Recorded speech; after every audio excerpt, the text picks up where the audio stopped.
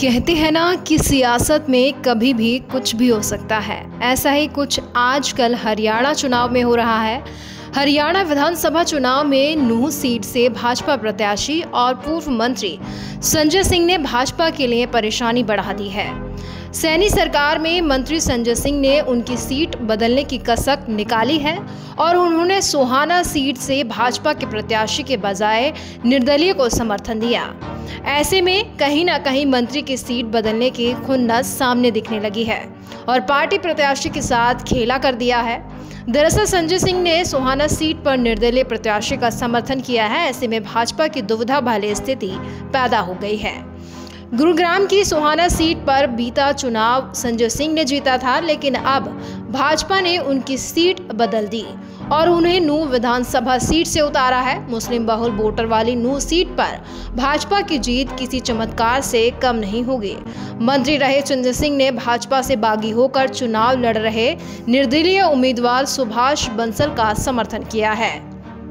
ऐसे में खेल मंत्री के इस समर्थन के बाद सुहाना की राजनीति में पूरी तरह से भूचाल आ गया है। संजय सिंह ने कहा कि सुभाष बंसल भाजपा के अच्छे कार्यकर्ता हैं और शुरू से लेकर अब तक उन्होंने पार्टी के लिए अच्छे काम किए हैं। इस बार टिकट की दौड़ में थे लेकिन उन्हें टिकट नहीं मिला।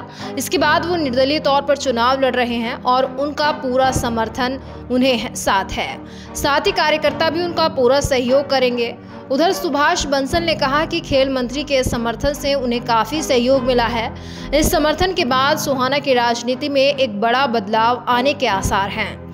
भाजपा ने इस बार पूर्व विधायक तेजपाल तंवर को टिकट दिया है।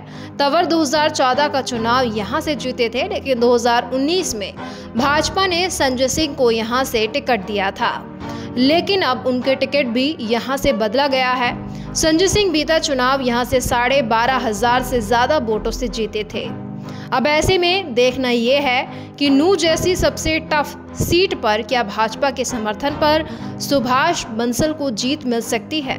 अगर जीत मिलती है तो सुभाष बंसल किस तरफ़ जाएँगे? क्या वो भाजपा के साथ रहेंगे या सत्ता का सुख भोगने के लिए कांग्रेस के साथ जाते हैं? ये तो समय ही बताएगा।